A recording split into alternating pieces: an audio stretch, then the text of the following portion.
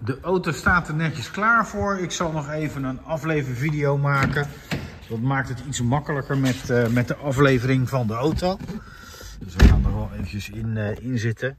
Nou, voor het starten is even een kwestie van koppeling intrappen en de rem. En dan vervolgens natuurlijk op, uh, op start. En dan gaat hij vanzelf beginnen. Nou, de elektrische raam is een kwestie van ja, omhoog of naar beneden halen natuurlijk om hem omhoog te halen. Achter kunnen we dan nog de ruiten blokkeren. Dat is die onderste knop. Dan hebben we natuurlijk nog het, uh, het automatisch inklappen van, uh, van de spiegels. Dat is de middelste. En we hebben aan de buitenkant dan nog de linker of de rechter spiegel verstellen. Dus kwestie van even op het knopje drukken, gaat het lampje branden. Doen we niks, gaat het lampje ook vanzelf eruit. En we kunnen dan met de joystick natuurlijk de, de, de boel zeg maar verstellen. Dus dat gaat gewoon uh, ja, redelijk makkelijk.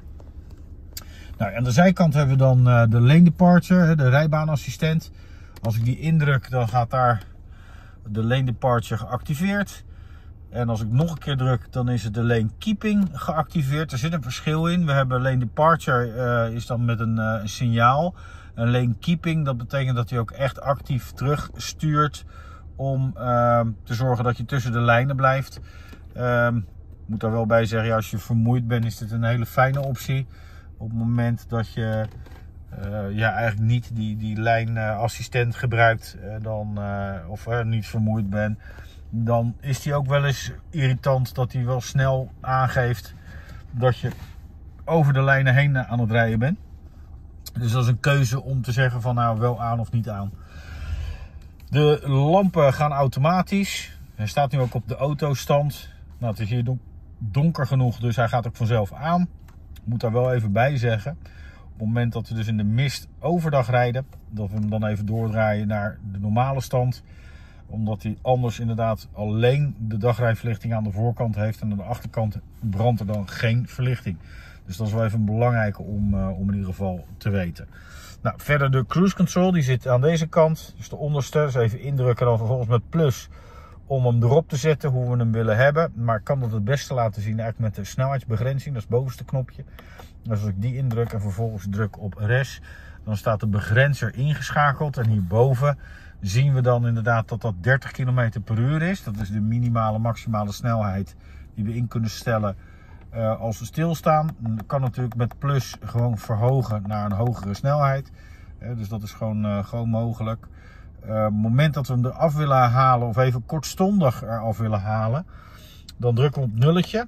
Dan staat hij in het geheugen, dan wordt hij ook grijs. En hij staat tussen haakjes. Willen we dan weer terug, kwestie van reset, res. En dan staat hij gewoon weer keurig netjes weer erop. En willen we hem er echt helemaal afhalen, helemaal uitzetten, dan drukken we gewoon nog een keer het knopje in. En dan is ook gewoon de snelheid weer weg. En dan, uh, dan is die wat dat betreft uh, uitgeschakeld. dus op die manier kunnen we dat dan inderdaad regelen. De andere kant is dan eigenlijk voor het menu helemaal te bedienen. Ik heb hier een tabblaadje. Nou, dat is hierboven dan inderdaad. En als ik die ingedrukt heb, krijg je die accolades. Gaan we dan met pijltje omhoog, pijltje naar beneden. Kunnen we natuurlijk inderdaad zeggen van nou, ik ga een ander, uh, ja, een ander icoon uh, aanmaken, zeg maar. Dus, dus de, het verbruik van de auto of uh, hoeveel kracht die levert of hoeveel kilometers we hebben gereden, de gemiddelde snelheid, of we zuinig hebben gereden. Allemaal dingen die we kunnen doen. Druk ik nog een keer op diezelfde uh, tabbladenknopje, kan ik ook aan de andere kant nog door, uh, door dat menu heen uh, scrollen. Bijvoorbeeld ook naar de radiozender kan ik dan bijvoorbeeld inderdaad kiezen. En druk ik nog een keertje, dan, dan komen we inderdaad in het onderste vakje. En dan kan je bijvoorbeeld inderdaad de banden drukken. En of er berichten staan in het geheugen. Dat zijn allemaal dingen die we op die manier kunnen instellen. Zoals we ja, dat op, op eigen manier kunnen bepalen. En ook kijken wat het, uh, wat het prettigst is eigenlijk voor, uh, ja, voor onszelf. Dan hebben we de ruitenwisser. Dat is dan één naar beneden is de intervalstand. Dan staat hij op die autostand. Die kunnen we zelfs nog regelen qua snelheid. Dus als die toch nog te hard of te zacht gaat, kunnen we zeggen ik ga hem op kleine druppels op een grote druppel zetten even draaien voor de ruitenwisser achter. Dat kunnen we natuurlijk inderdaad ook, uh, ook doen. Om, uh, om ook nog te, te verstellen. En de verwarming, ventilatie, dat is heel simpel. Even indrukken. Hij staat nu bijvoorbeeld op 19 graden en op auto. Kan hem natuurlijk omhoog draaien of naar beneden draaien. met die autostand regelt hij alles helemaal zelf. De manier van blazen, waar die blaast, dat is allemaal automatisch eh, geregeld. Dus daar hebben we eigenlijk verder geen, uh, geen omkijken naar. Autostand is eigenlijk het makkelijkste, daar hoeven we er eigenlijk niks meer aan te doen. Gaan we dan toch inderdaad draaien aan de hendel. Kijk, dan uh, gaat hij ook van auto af. Dan zijn we het zelf aan het regelen. Dus het makkelijkste is gewoon een kwestie van auto indrukken en dan regelt hij het volledig zelf. Aparte knop voor de vooruitontwaseming, aparte knop natuurlijk voor de achteruitverwarming. Dat is natuurlijk wel makkelijk dat we in ieder geval snel kunnen ontwasemen. Dan zal hij ook harder blazen, dan zal hij ook automatisch de airco aanzetten om zo snel mogelijk zicht in ieder geval uh, te hebben. Verder dan natuurlijk nog de navigatie. Als we er even op drukken, wordt het scherm helemaal gevuld. Hierboven krijgen we dan ook inderdaad een zoekbalk. Nou, dan kunnen we een adres of een point of interest uh, invoeren. En die zal die dan ook inderdaad vinden. En als we die selecteren, dan uh, kunnen we gaan, gaan navigeren. Dus dat werkt wat dat betreft heel, heel makkelijk. Nou, onderdag, als we even teruggaan naar home, hebben we dan de radiozender die op dat moment aanstaat. Dat is ook de DAB Plus radio is dat. En um, de telefoon, nou die kunnen we koppelen. Als ik die even indruk, dan kunnen we inderdaad zeggen nieuw apparaat toevoegen. Vervolgens even op oké. We moeten dan ook tegelijkertijd ook even zoeken met het telefoontoestel tegelijkertijd. Hebben ze elkaar gevonden, is een kwestie van even koppelen. Is die gekoppeld, dan is het een kwestie van daarna instappen met de bluetooth aan. En dan werkt dat wat dat betreft helemaal prima. Ik ga even weer terug naar die home functie, want dan kunnen we het allemaal makkelijker uitleggen. Dan hebben we hier nog de MySense knop. Als ik die indruk, dan krijgen we bijvoorbeeld inderdaad MySense Sport of Eco. Nou, dan kan je daarmee natuurlijk ook inderdaad de rijmodus veranderen. Sport zal die wat directer zijn in het gas uh, geven. Dan geeft hij ook wat meer gas. Reageert hij ook wat sneller. Op Eco zal hij minder snel reageren op het gas. En dan zal hij ook de verwarming, ventilatie wat uh, rustiger aanbedienen. Zodat hij daar in ieder geval wat, uh, ja, wat, wat minder verbruik zal hebben. In MySense ook kan je alles nog regelen. Want als je daar op de knop drukt, dan kan je bijvoorbeeld de besturing kan je aanpassen dat hij wat zwaarder stuurt of wat lichter stuurt. Maar ook bijvoorbeeld inderdaad de verlichting. Die kan je dus ook helemaal aanpassen. Dus we kunnen het helemaal naar eigen smaak eigenlijk invullen. Dat is ook wel, uh, wel grappig om, uh, om te doen. Knopje voor de, uh, de start-stop. Die kan je uitzetten. Dus dat start-stop niet aangaat. Eerlijkheidshalve staan we voor het stoplicht. Hebben we de koppeling ingetrapt. dan zal die ook gewoon niet uitgaan. Dus wat dat betreft. Er zit wel een knopje op. Maar in principe hebben we hem niet zo snel nodig. Uh, start-stop systeem uh, kan ook pas geactiveerd worden op het moment dat er geen verbruikers aanstaan en dat de accuspanning op een, uh, een, voldoende niveau zit, zodat alles aangestuurd kan worden zonder dat dat consequenties geeft voor het weer opnieuw starten van de auto. Dus het is wat dat betreft toch wel redelijk beperkt wanneer dat inderdaad pas actief is. Nou, alarmverlichting natuurlijk, het op slot en open doen van de auto zelf, de centrale vergrendeling en dan nog de camera.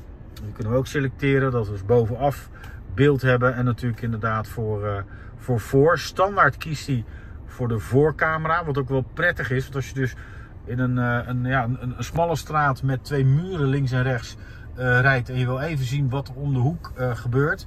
Dan kan je dus inderdaad het puntje van de neus van de auto erop zetten. En dan kan je dus eigenlijk al een klein beetje om de hoek kijken. Om te zien wat er aankomt. Want het is wel een, ja, een, een grote hoek. Dus hij geeft wat dat betreft meer beeld als dat we standaard zien als we naar buiten rijden. Dus dat is wat dat betreft wel handig. Uh, leuk hiervan is wel, als we hem op de achteruit zetten, dan zal hij ook gelijk springen naar de achtercamera, zoals nu. En uh, dan zien we dus inderdaad waar we heen gaan in de achteruit. Dus standaard, als we niet in de achteruit hebben staan, schakelt hij naar de voorcamera. En op het moment dat we hem in de achteruit zetten, dan switcht hij dus inderdaad naar de voorcamera. Staan we nou langs de stoep en willen we even zien of we wel recht langs de stoep staan. Of we genoeg ruimte of te weinig ruimte, uh, of uh, in ieder geval minder ruimte al hebben. Kan ik dus inderdaad switchen. En dan hebben we dus die langscamera. En dan kan je ook zien van nou, staan we recht of staan we niet recht. Dat zijn allemaal dingen die, uh, die kunnen we dan inderdaad op die manier aanpassen. Dus dat is wat dat betreft wel leuk van, van de camera in ieder geval. Nou, dan hebben we nog een automatische dimspiegel. Nou, daar hoeven we eigenlijk niks van, van te weten. Anders dan er zit hier een sensortje in. Als iemand erin schijnt, gaat hij gewoon vanzelf uit.